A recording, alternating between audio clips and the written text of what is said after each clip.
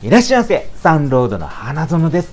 先日ですね YouTube 見てたんですけどもねそこでね今ネットでかなり話題になってる方がですねいろいろな調味料をご紹介されてたんですよね、まあ、その方が上げられてる動画がですね、まあ、年収200万でもね楽しめる調味料って感じでねそんな感じだったかな。で上げられてるんですけどもそこでね紹介されてましたバターがあってたんですよね。このバター見てね、私食べてみたいなと思ってね、食品担当者に相談しまして仕入れていただきました。そのバターがですね、こちら、カルピスの特選バターです。ご存知の方はご存知かと思いますけども、このバターね、なんかめちゃくちゃ美味しいみたいなんですよね。ってことで、今回はですね、えこちら、フランスの美味しい3つの理由、こちらの食パンにね、このカルピスのバターを塗って、ちょっと食べてみようと思います。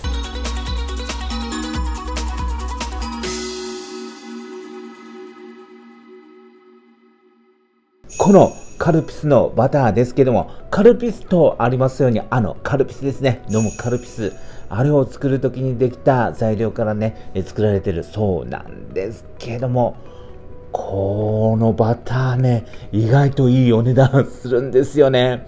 ね、これのバターね、え普通のバター、あの、雪印のバターとかありますよね。あのバターに比べまして、値段がね、ちょっと倍近くするんですよね。これ、ね、あの 400g だったかな。450g のバターなんですけどもこれでね1個の税込みの1700円ぐらいだったかな。結構いいお値段するんですよね。早速上げていきますね。チャンネル登録してね。こういう感じになっておりましてこのような感じでねシュリンクされておりましてね酸素が入らないようにしてるんですよね。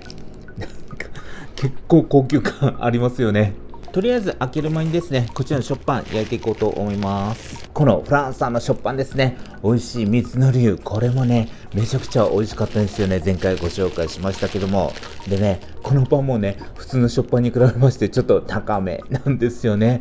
なんでね、この食パンでね、ちょっとバター試していこうと思います。でもね、本当こんな感じでシュリンクされておりまして、とりあえずね、開けていこうと思います。他のメーカーさんのバターに比べて、色がね、白いですよね。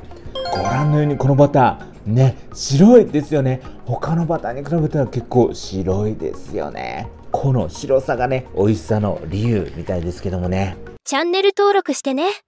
それではね、早速トーストした食パンにね、こちらのカルピスのバター、特選バター塗っていこうと思います。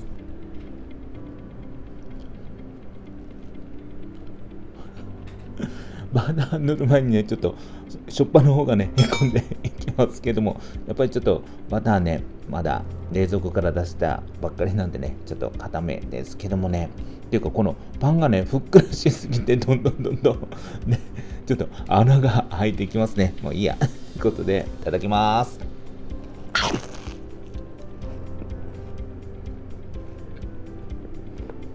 うん、このバターね、なんだろう、他のバターとは全然違いますね。コクがありましてねくどくないんですよね。さらって溶けていくというかねクリーミーな味わいですね。でバターって牛乳から作られてるじゃないですか。その牛乳のねコク風味が感じられるんですよね。すごいですねこのバター。でこのパンもねさっくりふわふわしててね。生クリーム使ってるんですけどもやっぱり相性いいですねこのバターと。もうほんと。このバターねくどさがないんですよね。なのでほんとどんどんどんどん入っていっちゃいますね。もうねバターもパンも美味しくて1袋全部食べちゃいました。チャンネル登録してね。はいということで、今回はですね、カルピスの特選バター試してみました。こちら 450g 入ってね、税込み1700円とね、普通のバターの2倍近いぐらいのね、お値段するんですけども、これ買ってよかったですね。これだったら私3000円ぐらいは出せるかなっていう感じのね、味わい、風味、コク、ものすごかったですね。他のバターとはね、もう全然レベルが違いますのでね、ぜひ試してみていただければと思います。ただいまサンロードシティ店でね、販売いたしております。えこちら有塩タイプとなっておりますけども、無塩タイプもね、ご準備いたしておりますので、お菓子作られる際などにもですね、ぜひカルピスの特選バター使ってみてはいかがでしょうか。今まで作ってたクッキーなどのお菓子がね、多分一味も二味も変わるかと思いますよ。ご視聴いただきましてありがとうございました。はい。本日はご視聴いただきましてありがとうございました。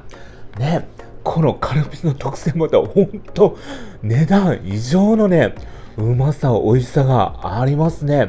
これすごいんでね、ぜひ試してみていただければと思います。